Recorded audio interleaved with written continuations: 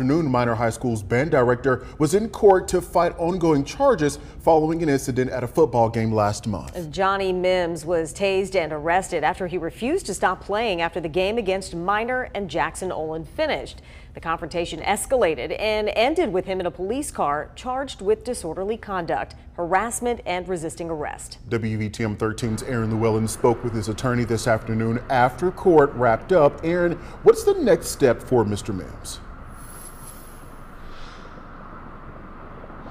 Yeah, Johnny Mims and his attorneys will be back in court on December 6th.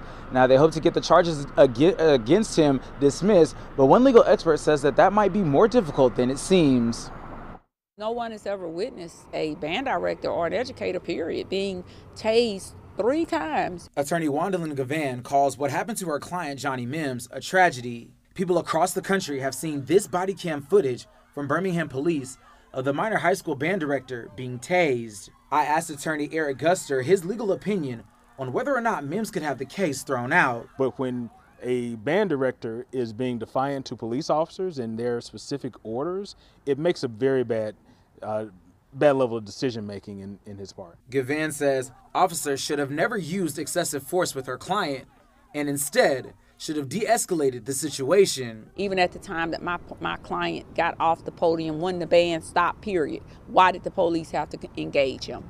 They shouldn't have done anything. Once it, the music stopped. And at the very least, Givan believes this case should be moved outside of the city of Birmingham. The court in Birmingham relies a lot on the law enforcement uh, for the city of Birmingham that we would definitely have to see that we would definitely be able to get a fair uh, hearing before uh, the court in Birmingham. She's hoping to get the case moved to a high court if it goes to trial, but Guster says the move may not make a difference. Police officers make arrests all the time. So whether it's in state court, municipal court, or federal court, a police officer or some law enforcement official made the arrest. Now, again, Givan is hoping to get those charges against her client dismissed, but if that doesn't happen, he can enter a plea of guilty or not guilty. Now, again, they are going to be back in court on December 6th, and that case will head to trial if they can't get those charges dismissed. And we also reached out to the city of Birmingham's attorney, and we were told that the city does not comment on pending litigation. But for right now, we're live in Birmingham. Aaron Llewellyn, WVTM 13. American leadership is what holds the world together. American alliances will keep us, America, safe. American values are what make us a partner that other nations want to work with. To put all that at risk if we walk away from Ukraine, if we turn our backs on Israel, it's just not worth it. This evening, President Biden making a rare Oval Office address to ask Congress for more aid for the ongoing wars in Israel and Ukraine. And the president's plea comes less than one day after he visited Tel Aviv to speak with Israeli leaders about the ongoing war against Hamas.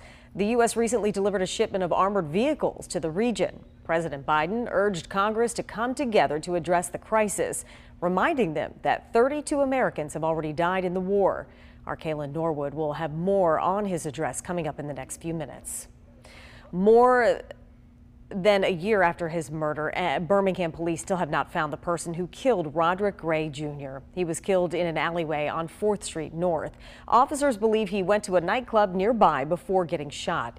If you have any information on this case, call Crime Stoppers and remember you can remain anonymous. Birmingham police are looking for a missing man that could be in danger. Donald Cash was last seen Tuesday, September 25th in the Wylam community. He was dressed in all black. Take a look at his picture. If you know where he is, call police. New details on what led to a railroad worker's death last year. Walter Griffin died when he was hit by a metal beam sticking out from a parked rail car on a different railroad track. We now know that, now know that the U.S. Pipe facility noticed the beam hanging from the top of the car but never told Norfolk Southern about it. The NTSB is conducting a much larger investigation into Norfolk Southern safety practices. Well, Birmingham Southern College once again facing tough financial situations after state lawmakers passed a bill to allow them to give private college loans. School leaders say state treasurer denied their application.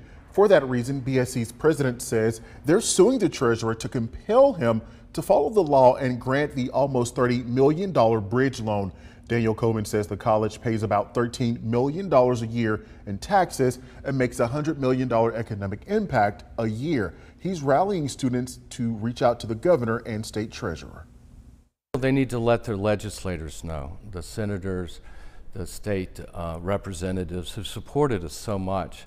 They need to let them know that the, the will of the legislature is being thwarted, and, and, they, and, and, and we can't stand for that. Now, the first hearing in the suit was held today. A judge has ordered the state to file its motion to dismiss the case by Monday. They're due back in court on the 25th. Well, turning now to the weather, we saw a sprinkle or two this afternoon, but once again, it wasn't enough to get us out of the drought. That's right. Joining us now, Chief Meteorologist Jason Simpson. And I mean, even despite the little bit of rain I know we needed, we can't really complain about the weather. It's been beautiful, but we just need a little rain to start moving things along and progressing toward uh, more typical kinds of agricultural environment and lake levels and pond levels and everything else around here. This is what we see on WVTM 13 live Doppler radar. There's an old saying among the weather community that if you're in a drought, don't forecast rain because you're not going to get much of it. And right now, there is not much out there. This is it in Fayette County, a little bit in Lamar County, and this is where it has been basically concentrated this afternoon, if you want to call it that. There just hasn't been that much from Jefferson County southward, but we've seen some showers at least in the area. Through tomorrow morning, you still got about six to eight hours to see an isolated shower or two before we can completely write off the chance.